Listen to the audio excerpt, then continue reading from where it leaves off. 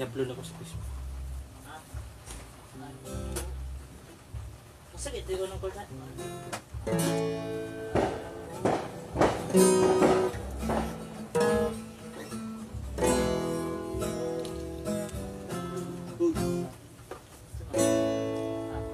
May upisan ko na.